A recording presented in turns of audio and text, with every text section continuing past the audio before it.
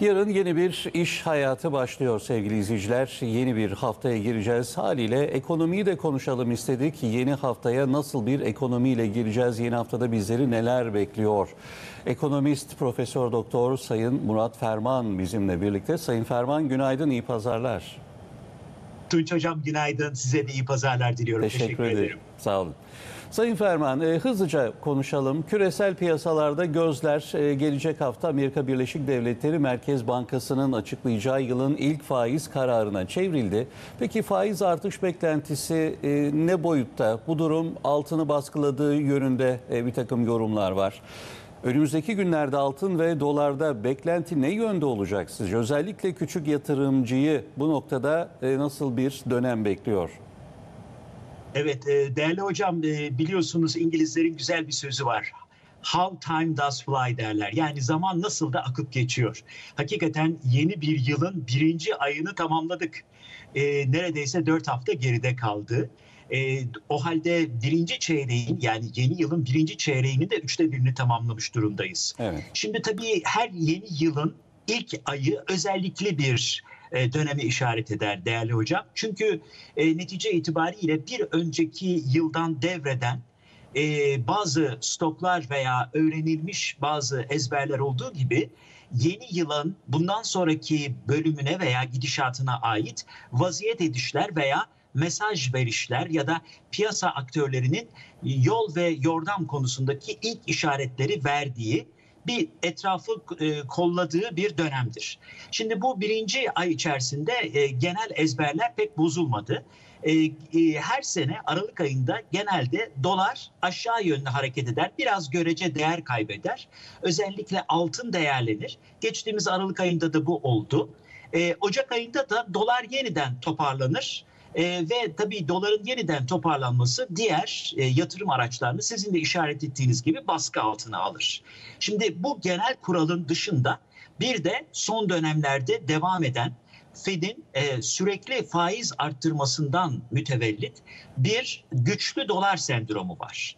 Yani dolar e, son e, 16-17 ay içerisinde e, üst üste e, faiz arttırımlarıyla e, güçlü dolar sendromunu daha da kuvvetlendirerek devam ediyor. Bu da e, defaatle sizle daha evvel de konuştuğumuz ve geçen sene de hep beraber yaşadığımız gibi örneğin e, dünyada e, savaşlar devam ederken güvenli liman olması gereken altının böyle kopup gitmesine veya yukarı yönlü hani 2000 dolarların üstünde evet. E, bir e, koşuya başlamasına müsaade etmiyor. Ya da kriptonun üzerinden sopayı eksik etmiyor. Dolayısıyla temel soru şu. Bu güçlü dolar sendromu ne zaman biraz diğer araçlara nefes aldıracak? Orada da e, mutabık kalınan o e, mesele şundan ibaret. Fed ne zaman faiz indirimine başlarsa o zaman bir parça daha diğerleri nefes alabilecekler. E, hatırlayacağınız gibi Ekim-Kasım'dan itibaren hani geçtiğimiz yılı biraz böyle dolar sopasının altından kurtularak ferahlayarak tamamlamak isteyen çevreler işte sermaye piyasaları, altıncılar, kriptocular dediler ki geldi geliyor e, gel, e, beklenmekte olan geliyor. İşte faiz indirimine geçiliyor falan gibi bir takım e, biliyorsunuz e, raporlar, e, söylenceler ortaya çıktı ama şimdi anlaşılıyor ki Fed'in böyle faiz indirimine gitmesi için herhalde en az bir çeyrek yani ilk üç ay ve daha e, benim de e, aylardır savunduğum veya okuduğum üzere ikinci çeyreğin sonunu beklemek gerekiyor. E, değerli hocam bu konuda bir kere faiz indirmesi önemli bir sinyal olabilir ama onun dışında e, hatırlayınız 11 kere üst üste faiz arttıran Fed'in e, böyle bir kere e, faiz indirip sonra bekle göre girmesi de çok e, beklenen etkiyi vermez. Diğer araçların önünü açmak, nefesini evet. tekrar kuvvetlendirmek bakımından şöyle 2-3 indirim görünmek bekleniyor. Şimdi peki durum nedir? E, Fed'in bu toplantısında e, ekonominin durumuna bakması gerekir. Amerikan ekonomisi güçlü gidiyor. Amerikan ekonomisi e, 2024 yılındaki büyüme dostu olmayan genel tahminlerde bile pozitif ayrılıyor. E, en son saatler evvel e, Amerika e, Fed e, e, faiz kararlarında önemli olan çekirdek enflasyon. Biliyorsunuz çekirdek enflasyon artık hepimiz öğrendik. Enflasyonun bundan sonraki seyrini en iyi gösteren dönemsel etkileri izale eden bir e, ciddi bir e, endikatördür, göstergedir. Burada da e, gene e, gayet sınırlı bir artış var. E, yani e, yol haritası veya şu anki performans Fed'in görece istenilen sonucu aldığını gösteriyor. Evet. Ama e, bugün e, gene saatler evvel değerli meslektaşımız, dostumuz Muhammed El Arya ki önemli bir isimdir. E, diyor ki e, bütün göstergeler iyi ama Amerikan ekonomisi iyi gidiyor. Özellikle istihdamda bu kadar sıkılaştırmaya rağmen, nefes kesme şeyine rağmen.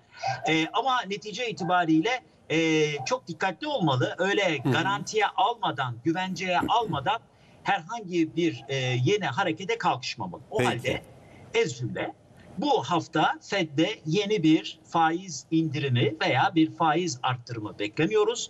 Dünyada da biliyorsunuz henüz yeni yılın ilk aylarında Kızıldeniz e, riski başta olmak üzere yeni riskler var. Bu risklerdeki gidişata bir parça bakıp bekle gör politikasını sürdüreceğini düşünüyoruz. Son söz şu, e, Avrupa e, Merkez Bankası da biliyorsunuz dedi ki yani biz de e, bu yüzde iki hedefinden emin olmak istiyoruz. Bir kere enflasyonu bu noktaya değdirmek veya indirmek yetmez. Burada kalıcı olacağına dair yeterli karine, delil veya e, döküman veya veri biriktirmeden biz tekrar faiz indirimine başlamayız diyor. E, tabii bu faizi arttırarak e, enflasyonu engellemek Amerikan e, Merkez Bankası rolü oynayan Fed'in gayet bencil, egosantrik, ben merkezli bir politikası. Çünkü güçlü dolar aralarında Türkiye'nin de olduğu tüm diğer ekonomilerin işini zorlaştırıyor. Cari dengeyi sağlama yolunda maliyeti arttırıyor. O bakımdan bu Türkiye bakımından da önemli bir risk. Ee, ne kadar erken e, güçlü dolar sendromunda biraz daha böyle taviz verilirse Türkiye'nin de durumu o kadar daha e, kolaylaşır diğer ekonomilerle beraber. Evet. Sayın Ferman son sorum da şu olsun. Şimdi borsada halka arzlarda umduğunu bulamayan bir genç kesim, bir genç yatırımcı var. Kriptoya, e, kriptoya dönüyorlar. Peki bu dönüş sağlıklı, güvenli bir dönüş müdür? Burada da bir hayal kırıklığı yaşayabilir mi genç yatırımcı? Evet sevgili hocam hatırlarsanız borsaya bu e, çok sayıda e, benim deyimimle hayatın normal akışına aykırı bir şekilde adeta bir hücum, bir tasallut olmuştu. Neden? Kriptodan ağzı yanan özellikle 10 bin liranın altında bir e, montanla, bir yatırım portföyüyle hareket etmeye çalışan genç dostlarımız e, kriptodan ağızları yanınca aynı mantık ve yaklaşımlar çerçevesinde maalesef borsaya. Niye maalesef diyorum? Çünkü borsa oyuncuların, iştirakçilerin değil, orta ve uzun vadeli düşünen e, yatırım disiplinine sahip e, yatırımcıların e, yükseleceği, onların e, katkılarıyla yükselecek bir ortamdır. E, aranan bulunmayınca, aranan da neydi? Halka arzlar çok önemli bir mekanizma. Sermayenin tabana yayılması diye senelerdir biliyorsunuz hep e, dertleniyoruz. Evet. E, ama e, burada da tabii en doğru alet bile e, gereğinden fazla ve istismar edilerek kullanılırsa kötü sonuç verilir. Bu faiz arttırımı da böyle. Kuvvetli antibiyotiği gereğinden yanlış dozda farklı ve gereğinden uzun süre, süre kullanırsanız yarar yerine zarar getirir. Bir de bağışıklık yaratır. Bundan sonra tekrar kullandığınızda etkisi azalır. Şimdi burada da e, yüz binlerce kardeşimiz, yüz binlerce vatandaşımız üç kere tavan yapacak diye böyle beklentilerin dışında, matematiğin dışında e, gerçek açılık açık adını bilmedikleri kodlara, üç harflilere yatırım yaptılar. Orada 2, 3 işte 3 kere tavan yapar, bir yatırırım, iki alırım gibi ufak bir mantıkla hareket ettiler. E, bunların bir kısmı tekrar kriptoya döndüler. E, kripto mantığıyla borsada başarılı olmak mümkün değildir. Tabii bu sermaye piyasaları araçları birbirlerine de benziyorlar. Yani kriptoda dikkat ederseniz borsadan öğrendiği şekilde daha kurumsallaşıyor.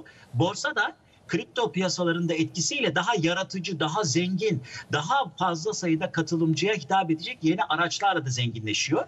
Bu modern hayatın güzel bir cilvesi. Bütün e, kurumlar gibi, insanlar gibi birbirimizden öğrenerek, çeşitlendirerek ilerliyoruz. Demem odur ki Evet, e, yüz binlerce kişi bir anda gelmiştir. E, daha az sayıda ama toplu bir çıkışın da olduğunu görüyoruz. Ümit ederiz ki e, bir kısım içeride kalmıştır. Derslerini bedel ödeyerek öğrenmişlerdir ve netice itibariyle bu içeride kalanlardan önemli sayısı, sayıdaki e, iştirakçı veya tırnak içinde oyuncu Hı hı. önümüzdeki günlerde yatırımcı olarak Türkiye'yi sermaye piyasalarından yükseltecek yeni profili oluşturmuşlardır. O bakımdan bunlar beklenen e, unsurlardır. Ama enflasyon öyle menen bir e, ortamı getirir ki insanlar ceplerindeki 3 kuruşu e, 3.30 parayı tabiri caizse enflasyona yedirmemek için e, ufak tefek manipülatif oyunlarla derhal 1'e 3 almak, 1'e 5 almak gibi e, sürdürülemeyen e, ve enflasyonla bacakları böyle yerden kesilen bir arayışın içine girerler. O bakımdan her zaman söylüyoruz enflasyonun makul seviyeye indirilmesi maişet motorunu çevirelim, günü kurtaralım derken istikbali berbat eden e, kitlelere de bu mahali vermeyecektir. Bu e, istenmeyen e, tarza itmeyecektir. E, makul bir enflasyon insanları da yatırım ve kazanç beklentilerinde daha makul hale getirir. Evet. Öbürsü makulün dışında sürdürülmesi mümkün değildir. Yani bu ekonominin temel kuralıdır. E, makul risk oranının dışında, makul getiri beklentisinin dışında makul bir dengeyi sürdüremezsiniz. Enflasyonun zararı budur. Size şeker gibi böyle birdenbire sizi geçici bir mutluluk verir, yukarıya çıkartır, birdenbire dibe vurur. Ve daha Peki. fazlasını istersiniz ve Peki. sağlığınızı kaybedersiniz. Yani özetle Sayın yapmak. Ferman e, dimyata pirince giderken evdeki bulgurdan olmayın diyoruz. Aynen. aynen. Ama bunu bunu bunu bunu evet bunu yani bunu şunu da bu kadar şeyi şunun için söylüyorum değerli hocam. Yani insanların bu konuda belki en son eleştirilecek bu kardeşlerimiz, bu vatandaşlarımız, bu insanlardır. Haklısınız. Çünkü insanlar bu e, sisli ortamda bu gerçeklerin çarpıtıldığı, her şeyin inflate edildiği, şişirildiği kof ortamda hayatlarını idame ettirmek isterler. Beklentilerin ayakları yerden kesilir. Peki. E, talep öne çekilir. Dolayısıyla e, satın alma kararları da dejenere edilir. O bakımdan enflasyonu bir an evvel bertaraf etmek e, gelecek kuşaklar bakımından, selamet bakımından, kalkınma ve yaşam kalitesinin gerçek anlamda arttırılması bakımından da elzemdir. Pazar sabahı biraz belki yoğun oldu ama işin esası budur yani. Evet, çok teşekkür ediyorum Sayın Ferman. Güzel bir pazar Ben- diliyorum size.